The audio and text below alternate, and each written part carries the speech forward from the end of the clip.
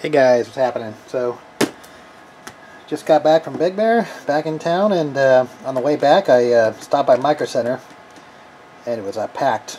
Um, took me an hour to even get this thing. And this actually wasn't even my first choice, but it's, uh, it's AMD Radeon 5700 XT uh, Sapphire Nitro. Um, yeah, this thing is like a unicorn. You can't even get this. You can't. Right now, everybody's price gouging the hardware because Ethereum and just the shortage. But uh, yeah, this thing was $3.99, but it was already it was open box. But man, you, I mean, I, I looked on eBay and these things were selling for like 650 bucks to like 850 bucks new. So total price gouging going on on eBay, even on Amazon too. Amazon 850. So uh, I have my test bench here. I'm gonna hook this up in Hive OS and see what I can get out of it. But Hopefully this thing works. Like I said, it was it's an open box, so they said they tested it. So, um, all right, 400 bucks. So let me show you my other mining rig real quick. So I already have ex experience with the RX 5700 XT. All right, here's what I'm currently mining right now. I got a couple Red Devils, RX 57 XTs, a couple uh, Red Devil RX 570s, 470s, an older thing back there. And I also have another uh, six RX 580s but they're not here, so, but, oh yeah, I forgot to say, but I'm actually currently getting 53 mega hash in Hive OS with this thing, running at about 100 watts, so. Alright, so this is a massive card. So it looks like it has uh, two DisplayPort, two HDMI, and it's the uh, three fan version. Wow, it looks like it even has a wrapper on it still. So, but I know it's pretty cool looking with the RGB lights and stuff, the things I've seen online.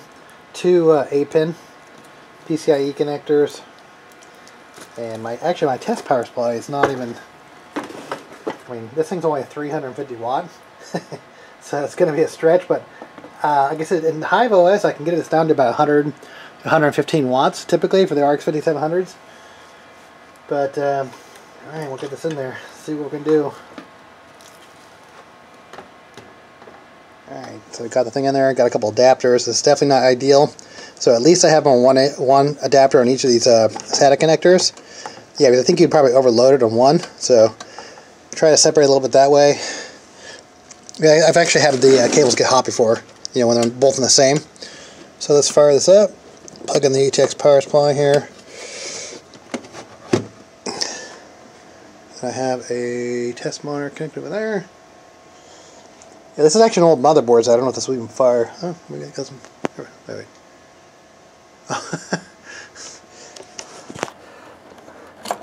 Still the VGA on there. So, that's cool. It actually had pass through though. So, alright, going to get my um, Hive OS in there. Forgot to put the USB in there. Alright, booting the Hive. I can't remember what version of uh, AMD drivers, if I have 19.2 or 19.3.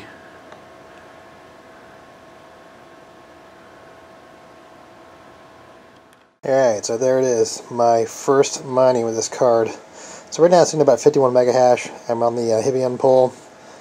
And it's pulling about 117 watts. I haven't really done too much tweaking on it yet. I'm going to let it run overnight. The cables are not hot. That's good. I wouldn't suspect they would be 117 watts, but so I'm going to let this run overnight, and then I'm still gonna I'm gonna BIOS mod it and then uh, mess around with the settings, but uh, so far, so good. It's definitely, I, I think it's going to be a better car than the uh, the Power Color uh, Red Devil. Just because this thing actually runs a lot cooler. Way cooler. Like the, the Red Devil actually has issues with the memory getting really, really hot. Um, so, so far, this is actually a better card. And stock, 51 megahash is pretty good. No BIOS mod and some basic clock settings. And I'll, I'll show you that. I'll log into Hive and I'll show you the settings. Alright, so it's time to start BIOS modding this thing. So this is my current farm. I have four different servers going. And I'm going to go to cards. And these are all different cards I've going. I have 470s, 570s, a couple 5700s. Well, now I have three 5700s. Uh, and then the rest 580s here. So I'm going to download the uh, VBIOS so I can mod it. Uh, yes, I want to do that too. And download. And it's going to download and I should be able to click on it and download it once it's done. Alright, now that it's downloaded, you can just be able to click on it and then you can download it. It's actually going to download to your downloads folder here. Then I'm going to copy it over to a folder on my desktop so I can run the uh, red BIOS editor and modify the uh, memory straps, 1500 memory straps. Alright, so now that I have the uh, BIOS downloaded from Hive OS, I'm going to load it. And that's the one I just downloaded. I'm not going to really mess with any of this set power play. Um, let's go to the VRAM timings here. Copy. So I'm basically copying the 1500 down to the other ones. Pretty simple. Save.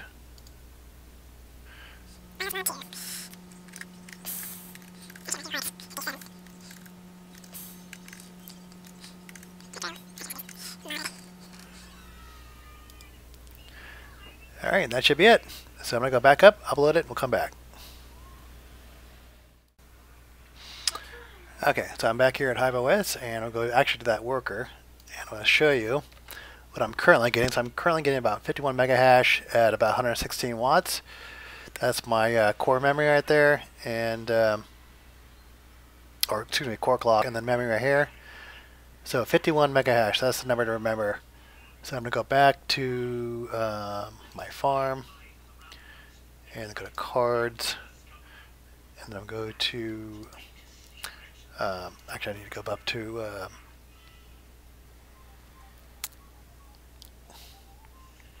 VBIOS storage here and I'm going to add VBIOS AMD choose file and that would be should be back on my documents modded and I'm going to give it the same name RX 5700 Nitro modded Um, I'll put Micron too. That's what kind of memory's in here. I'll just copy that and paste it again here.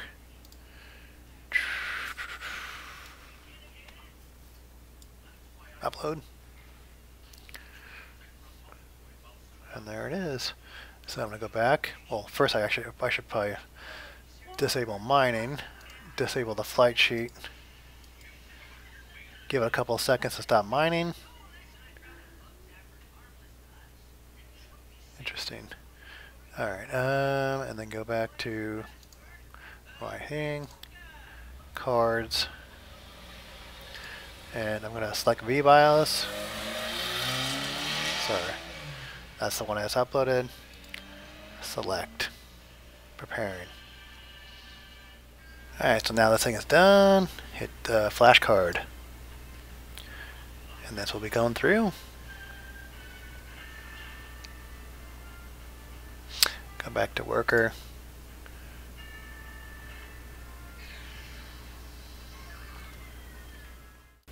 Alright, so now that I see this uh, card has been set, I'm going to actually have to reboot the uh, the system so it actually can load the new BIOS on the actual card. A couple different ways you could do that. You could go, um, I mean, you can obviously log into a console here. I can just type in reboot like that. Or you could just go to the actual worker, or actually to that one, this one, and then you can also just click on here, reboot here.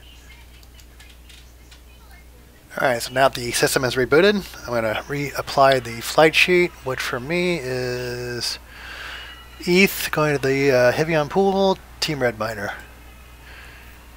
And we'll come back up, and we're going to We'll see what this thing does here.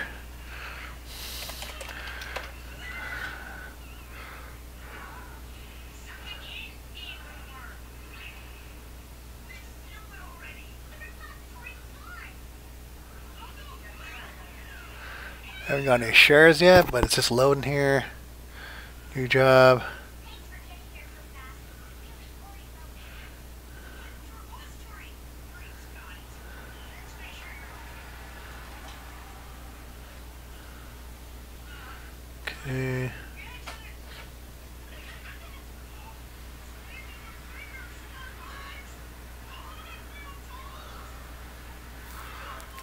So we're doing about 54.5, so that's about a 3.5 gain. 3, 3.25, let's see here. Let me compare, look at the, the numbers are way better.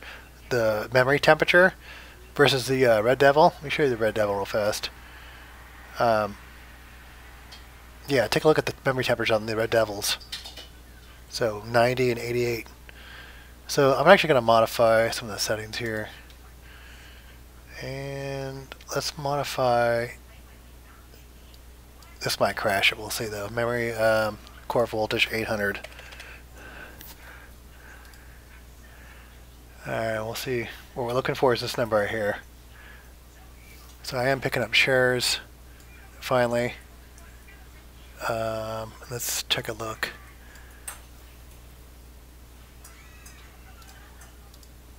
And